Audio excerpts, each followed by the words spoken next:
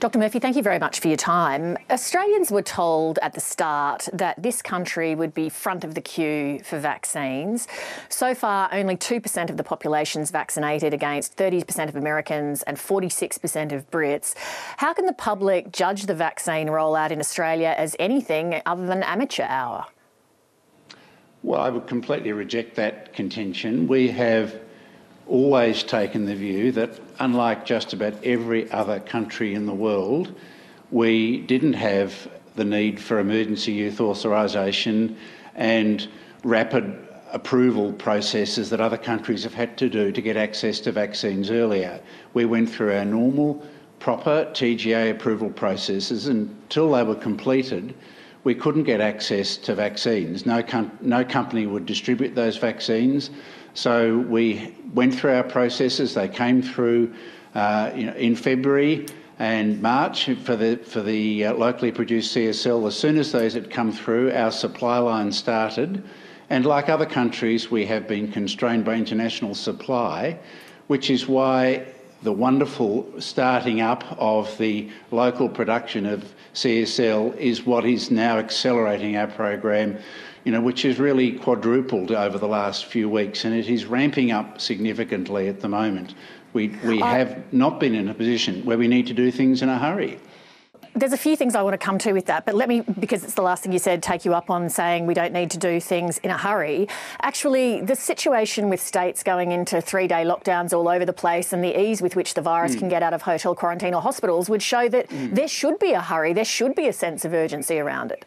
And and there is a sense of urgency uh, cons- consistent with the supply of vaccine that we have. We are distributing and putting in arms in the proper way that it takes to get things out and deployed and put into arms every vaccine dose we get. The constraint at the moment is vaccine supply. That is what's holding back any further expansion than the rate we're going at the moment.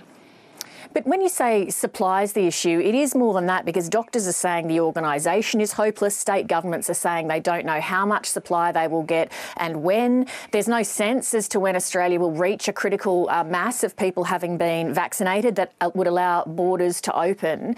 How can anybody objectively view this organisation as anything other than a dog's breakfast? Well, that, again, I completely reject that contention. The vast majority of GPs are incredibly happy with the rollout. They're very pleased to be involved. Sure, there have been a couple of instances where some GPs wanted more doses than they could be allocated because of the supply constraint. Sure, there have been some instances where the more than a thousand deliveries in the first week to GPs, uh, some were not able to be completed, but it is going well. We have put, you know, 280,000 doses in GPs uh, in two weeks. That's a pretty impressive uh, achievement. And the states have put 460,000 doses in arms. They know what they are getting. They would like to have more forward certainty, as would we, but we are working with our suppliers to get as much forward certainty as we can. The program is actually going according to plan and going well. How many doses of vaccine per week is CSL producing right now? They are still going through a process of refining their quality release. As you know, they produced 830 for their initial release, and they're going through sometimes one or two releases. Their quality so release process requires a double check. Well, it's, we haven't got a stable position yet. It is, it is changing from week to week. They are producing sometimes two releases a week.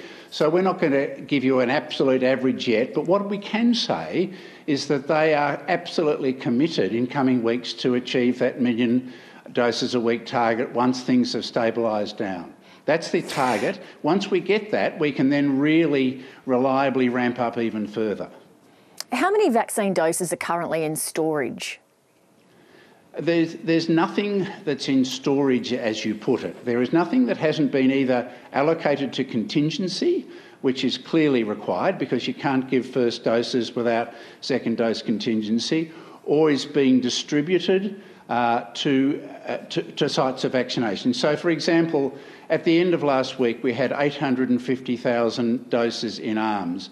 For, to achieve that, about 1.3 million doses had been uh, distributed and deployed to the sites of vaccination. So there was obviously you don't expect every vaccination site to use all of their doses, and particularly GPs in the first two weeks are ramping up. So that's then last week we also distributed another 600,000 for this week's uh, deliveries, and then the similar amount will be distributed this week. So there's no vaccine that's sitting in storage being unallocated. Every dose that we get is being allocated either to contingency or being distributed for the purposes of vaccination. You said um, to Parliament last week that um, everybody would have one injection by October. To get to that, authorities need to be delivering 200,000 doses a day. That's double the current rate. How will you get to that? We will get to that by, uh, we, we are still on track to hit our target of everyone getting a first dose, every adult getting a first dose by the end of October. We will get that by increasing our vaccine supply. That is the only constraint at the moment. Once we get to over uh, the million doses a week from CSL, and they have plans to get significantly over that, and we are also working with Pfizer to get uh, an increase in the current allocation that we're getting from the international supply. We're only getting a bit over 100,000 a week. We're working with them to increase that too. So that's the strategy to get us there, and we think we will get there because we've got plans to, to increase those doses. And what's your best current estimate for when north of 75% of the Australian population will be fully immunised? I, I, I, haven't got a, a, current estimate of that. All I'm, our, we're working to two major targets at the moment. One is to get all of phase one done, which is the vulnerable people in the community, by the middle of the year. And the second target is to get every Australian allocated a first dose, every adult Australian allocated a first dose by the end of October. That's what we're so, working through. We're working, yeah. Sorry, I was just going to say to break that down, can you give people a date by which time all of the health workers, the aged care workers, the hotel quarantine workers, and aged care residents would be done? No, because these we're merging 1A and 1B together. That's because we've now got the general practice online. We know that uh, you know more than half of the aged care residents uh, uh, are already vaccinated. We're working on the aged care worker rollout, expanding that at the moment. Most of the hotel and quarantine, the hotel quarantine and border workers have already been done, and the first line healthcare workers, but we're merging into other healthcare workers too. So the strategy is to get all of phase one done, as I said, by the middle of the year. Will Australia start to use mass vaccination centres, stadiums, convention centres like the US and the UK are doing? Well, we are, there already are some of those that have been set up by some of the states and territories. The only constraint on that at the moment is simply vaccine supply, as I've already said. So we can't expand those significantly until we get more vaccine supply. But it's also important to note that in phase 1B, when we're doing uh, the over 70s and over 80s predominantly, they want to go to their GPs. They do not want to go to a mass vaccination clinic. Once we get into phase two, when we're doing the general population, people who may not care whether they go to their GP or a stadium, we will, and we will have more vaccines available, we will definitely be expanding uh, into further vaccination clinics. It's a mixed model, but general practice has proven in these first two weeks of its rollout to be a highly successful mode of delivery. The Prime Minister announced in his press conference today that state and federal governments are looking at more data transparency around COVID vaccination. Do you have any further information about that at the moment? No, I think that's a discussion at National Cabinet on Friday. I absolutely support that. Um, you know, we, we're very keen to be transparent with what doses have gone where and what's gone to which, which sector, but people have to understand that it's, this, there's this long process between a vaccine being released. It takes a couple of weeks for it to be distributed in a complex way, to be put into arms. So there's always going to be a lag between the release of vaccine and delivery. But I'm absolutely supportive of transparency, absolutely. Let me finish by asking anytime there's a good news announcement around vaccination, the Prime Minister or the Health Minister are always there for it. But on a tougher day, here you are having to front up on primetime television to get the rounds of the kitchen table, graciously, I might add.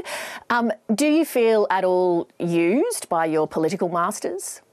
Not, not, not in the slightest. I am Uh, I chair the Scientific and Technical Advisory Committee. I'm the Secretary of the Health Department. The Health Department is primarily responsible. I appeared on your program primarily because you asked me to, and, and I like talking to you. Well, thank you very much. We appreciate your time and your transparency. Thanks.